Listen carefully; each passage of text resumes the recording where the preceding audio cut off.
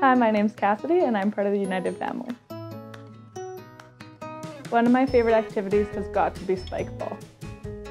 I was first introduced to spike ball around three years ago when we brought it in. Uh, it was pretty captivating to the staff who'd never seen it before, this new kind of game. Uh, bought it, took it home, and played it for myself.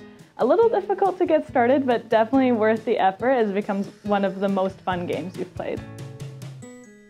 I enjoy playing spike ball because it's a great way to get together with friends and family. You can play with two to four players, so it's pretty easy to break out whenever you're in a group. Uh, also, it's a great way to get outside. You can play this game on a field, on the beach, even in the water with the buoy system. Even in light or dark, you can get a Spike Bright set, which illuminates the rim, and you can get a glow-in-the-dark ball or illuminated ball, anything you like. So it's just really easy, super fun, and a great way to get active. And all you really need is one of the sets. You have a net and ball, you're all ready to go. And it comes with a little bag that makes it nice and easy to carry so you don't have to lug around a bunch of pieces, whether you decide to go with the regular, the rookie, or the pro set.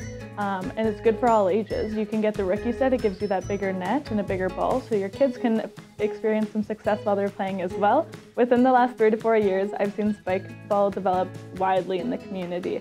I remember in the summer I went to a picnic with a bunch of my friends at Hawrelak Park and around us, there was six to eight games going on. Everyone's showing up with their nets and their little bags, and they're just ready for a fun day at the park to play some spike ball.